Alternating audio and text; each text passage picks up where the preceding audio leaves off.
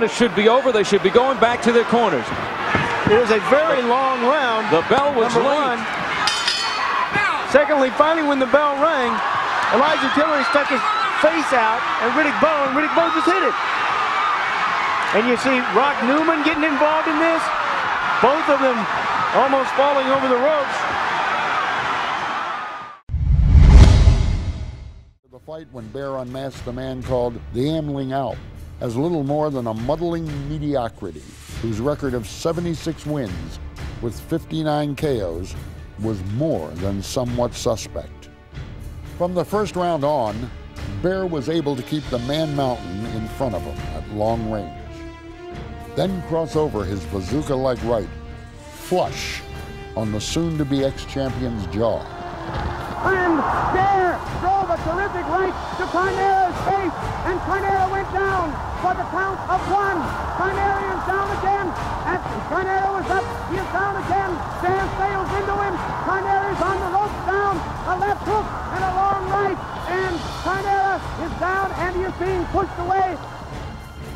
Carnera became a canvas decoration, going down a total of 11 times, sometimes even pulling Baer down with him as he tried to hold on to something, anything. As Carnera went down again, Baer went with him. And every time he was taken down by the fallen Carnera, Baer would holler, last one up's a sissy.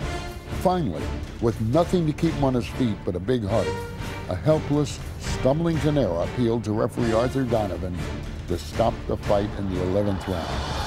Carnera is almost through, though. Nobody can do it. And finally, the referee motions Baer to his corner. Donovan mercifully called a halt to the most one-sided fight ever. Those things like that, it irritates you good. That is one of the most grotesque things I've ever seen on a prize fight.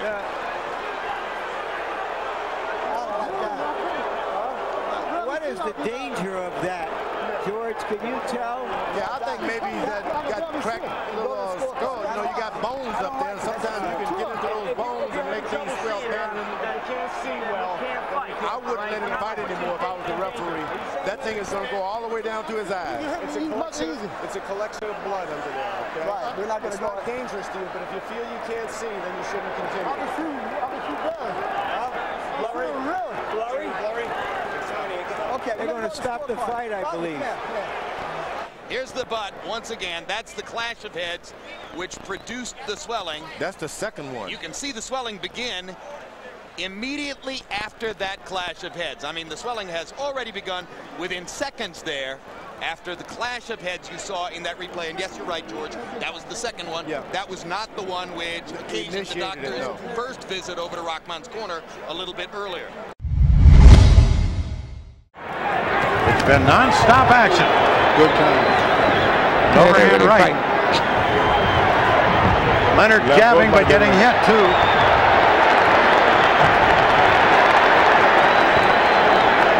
Good one right hand by Duran that Now Sugar Ray in the ropes. It gets away immediately. And what's happening? Duran says no. I think he's quitting. What is he saying, Larry? says no. I don't understand. He's saying no, no. He quit. I don't understand it. I think Duran quit. I don't understand it. I don't understand This is what not like happened. Duran. Ladies and gentlemen, Roberto Duran This is not like Duran. threw his hand up and said, I quit. I don't understand it. And he almost got in a fight with Leonard's brother. The police are in the ring, and we have a very, very unpleasant situation in there. I don't understand it. The I don't understand referee has not declared the fight over yet. Duran suddenly said, I quit. I don't understand it. I don't I either. don't understand it.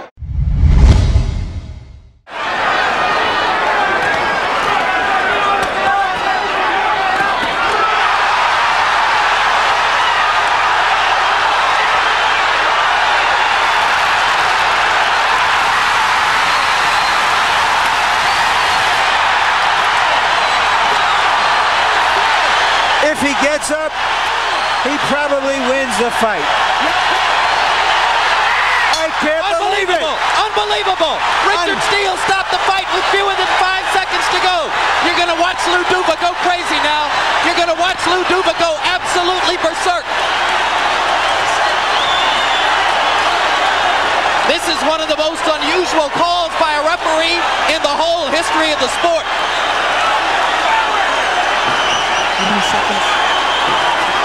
Five seconds left.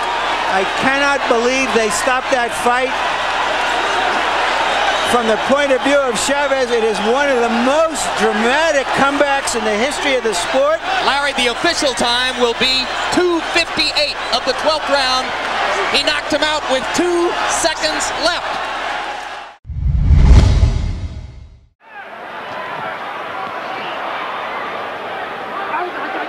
Some nasty stuff in there. There need to be a bite almost.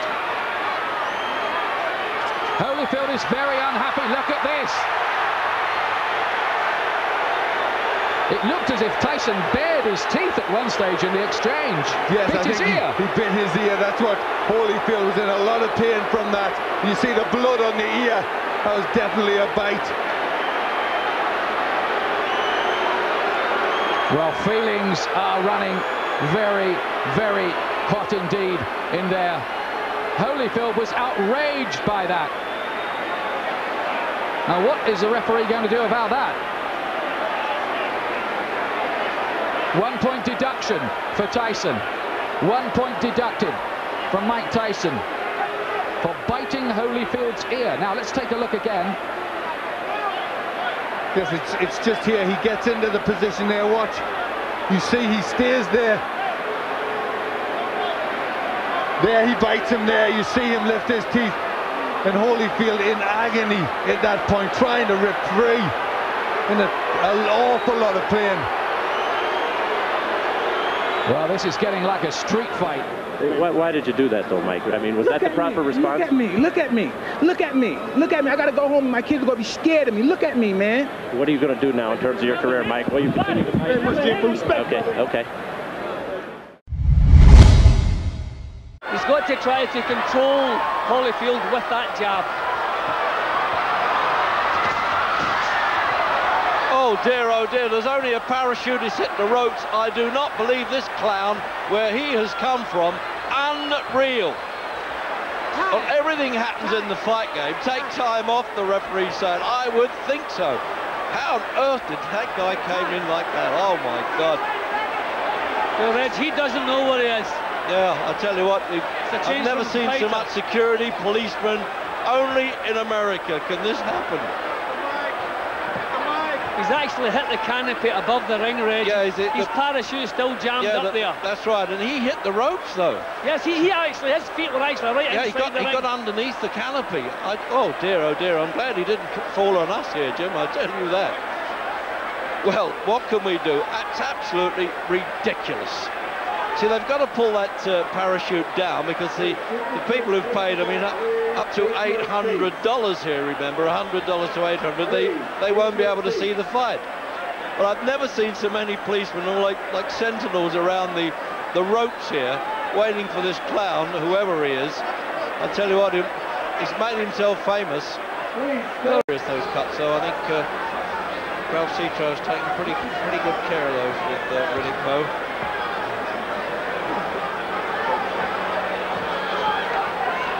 Usually adrenaline swab there, that's all that's permitted by the boxing commissions.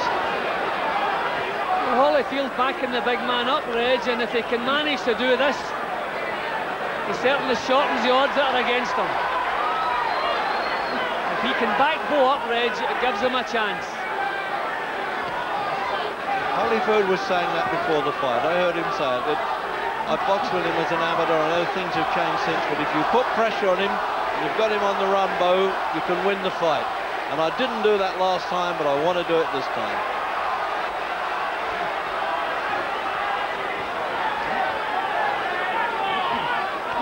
Bowe is actually looking a little bit looser, Reggie. His defences have loosened. Absolutely. He's not quite as tight and compact as he was. I don't know what's going on here, if he's taking a breather or what's happening here, but he's going to have to tighten up and try to take charge.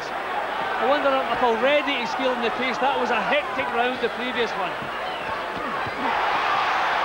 Oh. Just look out for that. Bowe waits for him to come in and he whipped that uppercut in there. He might not have seen that probably, and I don't think Holyfield did either. Well, it looked to me, Tim, as if some of the people, some of the spectators started to throw punches at him as he as he fell down onto the onto Did the you ground. see that? Oh yes, I certainly did. Yeah. It looked like they were really doing a job on him. Well, he landed uh, on the ring apron. That is an area that is occupied by uh, still photographers. He was very near the Bowe corner, so there would be uh, some boxing people uh, uh, in that corner, the handlers of Riddick Bowe. And then immediately behind him, I believe that is a, a, a, a press row behind the first row of, of uh, photographers. I believe that that is also press seating in the few rows that uh, are immediately behind the photographer area, which is right along the ring side itself.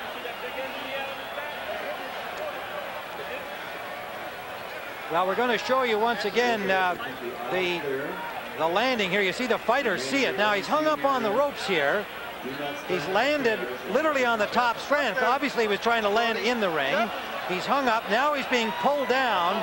And and this is where, all right, now we're seeing that the it would it would appear that the injuries came from this reaction by the people there. In fact, we see one man swinging a, uh, a radio. And uh, you can see the, the parachutist now, the skydiver, uh, slumped down from uh, apparently a blow. We won't, uh, again, speculate further on exactly how the injuries occurred, just what you can see on the screen.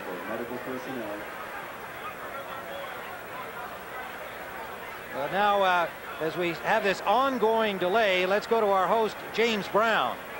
All right, Timmy, thank you very much. And I'm standing here with Marc Ratner, who is the executive director of the Nevada Athletic Commission. And Marc, I've got to ask you this question. In all of your years, have you ever seen an occurrence like this? Never. We. It's the furthest thing we would ever expect. Out of the sky, this guy, crazy man, comes down. A couple days prior to the fight, it had been set up that if Liston wins, I fight Liston. If Ali wins, he fights Patterson. The fight took place, and Liston takes a dive. Sonny Liston said, all I care about is the do-re me. And so he was telling me then he was boxing strictly for money. It wasn't like he threw a fight. I'm just fighting for money. I mean, to me, he just didn't fancy the fight. He knew Ali was just too fast, too quick for him, and he just, I think he swallowed it. Liston was scared to death of black Muslims. He was threatened by the black Muslims, and uh, he took a dive. Everybody knows it. I knew it, and I and I was quite vocal about it in the ring after. If Liston would have lost legitimately, I'd have no no qualms, you know. Melvina Lathan, 97-93, all for the winner by unanimous decision, Richard the Alien Grant. So Butler's number eight ranking is going to take a hit. Richard Grant in the mild upset. A unanimous decision victory. Oh, look at this. Butler. Whoa! Butler just ran across the ring. Butler just went over there and sucker punched, sucker punched and knocked out Grant. Oh boy. Terrible. And the, and the new commissioner, Ray Kelly, will do something very, very enforceful here. You want to talk about Zab Judah and his antics losing some money in a suspension. James Butler should never be allowed in the ring again. Absolutely. Never. That's assault. That is assault. He should be arrested on the spot. He should be arrested right on the spot. That is assault and battery. This will be the first test for the new commissioner, Ray Kelly, and I know that he will handle this the right way. What a punk. James Butler. And I, we're going to take a look at it one more time. Richard Grant, unanimous decision win. He turns to Butler to shake his hand, congratulate him. Putting his arm out. Boom! Right there. He was a coward and he couldn't get him during the fight, and he sucker punched him right there. And now Richard Grant is up on his own feet. Now they're going to escort Butler out of here. And they got him. The police are right there. They're going to escort him out. Ray Kelly, the commissioner, is right behind him. He is being taken.